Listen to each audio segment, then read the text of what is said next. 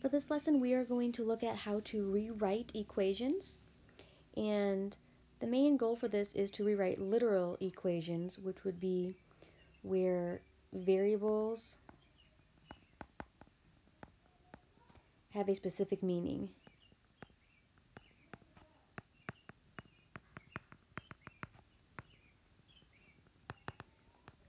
Like in the formula area equals L times W. So L is the length, W is the width, and you could manipulate this formula however we need it.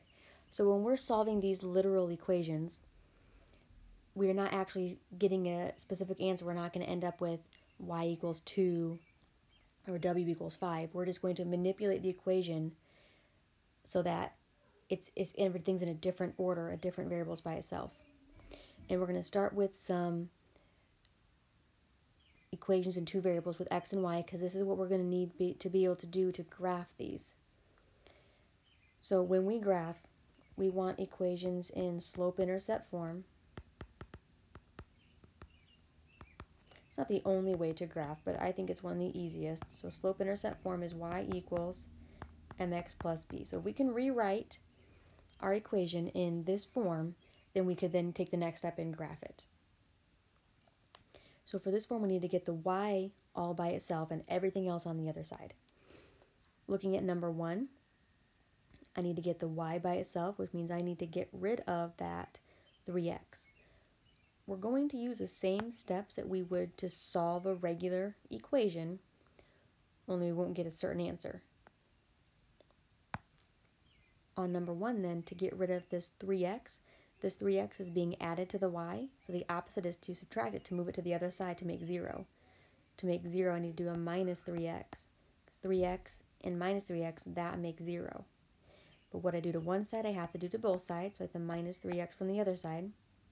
That is going to give me that y all by itself like I wanted. And I can't actually do 21 minus 3 because it's not 3, it's 3x, and those are not like terms. So we could just leave it as 21 minus 3x or because we're looking at our next lesson is to graph, we can write it in this form. We want the m and the x to come first and the number by itself, which will be b, to come last. So in that case, it would look like y equals a negative 3x and a positive 21. So as I rewrite that, notice that that minus sign was in front of the 3. It still stayed in front of the 3. The 21 was positive. The 21 is still positive. So make sure we watch for our signs when we're rewriting these like that. So either one of those answers is fine. This is a form that might help us graph it a little bit easier, so that's what I'm going to be aiming for. Number two is a little bit different because we're going to have an extra step. Just like when we solve a two-step equation, we want to get rid of our adding, subtracting first before we multiply or divide. Same thing here. So I need to get rid of this whole 5x first before I can divide. I need to get rid of this 3 from the y. The 3 is being multiplied by the y. Can't take care of that until after we get rid of that 5x. So we're going to do, just like we did in number 1, I'm going to get rid of the x to the other side first. So I'm going to do minus 5x because it's positive 5x. To make this 0, I need to be a negative 5x. That makes 0. So minus 5x from the other side. And that's going to be 3y equals and like we said over here, I want to get the m and the x first and then the b by itself. So I'm going to put that negative 5x first and the positive 30 second. You could also say 30 minus 5x and that's fine. Now I need to get rid of this 3 times x. The opposite is to divide by 3 to get rid of that. And then all the y's by itself. But if we divide this left side by 3, I've got to divide the right side by 3. We can do that in two ways. I could divide this entire side by 3. But again, because I'm looking ahead at what's going to come next and what comes next is graphing, the best way to do this in preparation for graphing is instead of dividing the whole thing, we divide each part separately by 3. And then the x part here just stays negative 5 over 3x. That can't be reduced anymore. But I can reduce this part here the 30 over 3, 30 over 3 is it's a positive 10.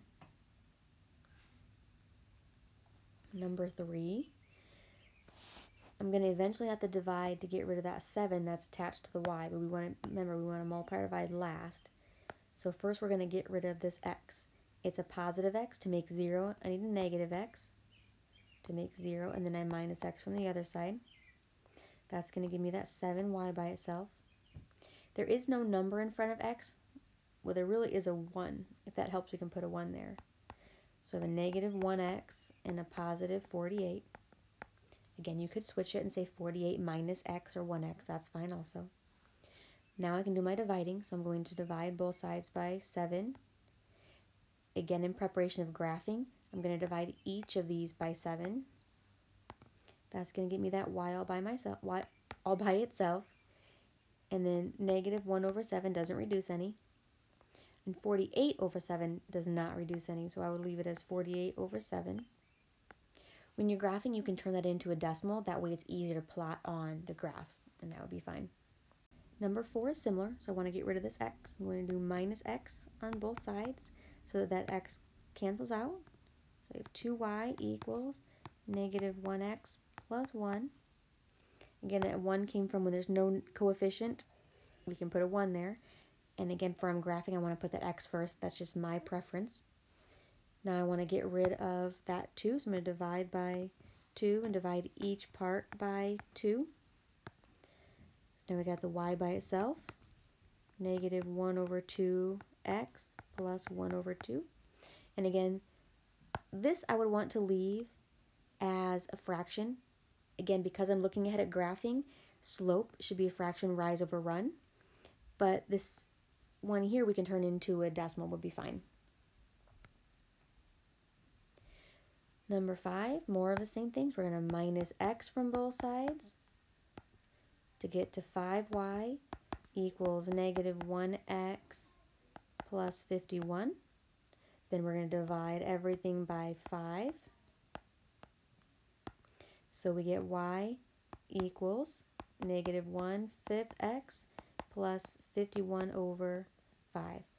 And again, I would suggest for graphing purposes, leave this slope as a fraction, our rise over run, but you can go ahead and turn the y-intercept into a decimal so we can plot it on the graph easier. One more like this. This time we have a 2x, so I'm going to have the minus 2x. If this had been a negative 2x, then I would have done a plus 2x, since we've done similar ones. So whatever that is, you want to do the opposite to make it cancel out, to make 0. Be careful with this when there's a minus sign in front of the 7. We have not used it yet. So the minus sign still stays in front of that 7, making it negative 7y. And then we're going to divide everything by negative 7 to get that y by itself. Here, two negatives make a positive, so it's positive 2 over 7x. And then 49 divided by negative 7 is negative 7, so that one can reduce down to a whole number. Okay, for our last two problems, these are the true literal equations where this is area equals base, 1 half base times height is what those letters stand for. And we're going to be solving for h, the height. So we're just going to manipulate this so the h is the 1 by itself instead of the a. The 1 half and the b are both multiplying the h, so they'll both have to be divided. I'm going to do just one at a time. Let's go ahead and take care of that 1 half first. We would have to divide by 1 half on both sides. But let's think about what that means. To divide by 1 half, that's the same thing as multiplying by the reciprocal. So dividing by 1 half is the same thing as multiplying by 2. So really we're multiplying by 2 on both sides.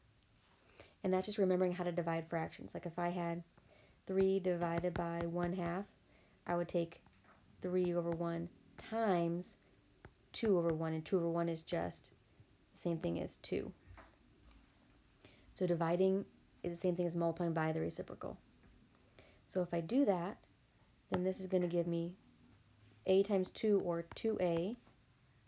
The 1 half and the 2 cancel each other out. That's why we did that. And then I have b and h. Then I still got to get rid of that b as being multiplied. So the opposite to divide by b on both sides. Now I've got the h by itself. And then we have 2 times a over B. And for our last one, this is formula for perimeter of a rectangle equals 2 times the length plus 2 times the width, and we're going to solve to get the W all by itself. This is going to be almost exactly what we were just doing. We just have an extra variable in there. So we need to get the W all by itself.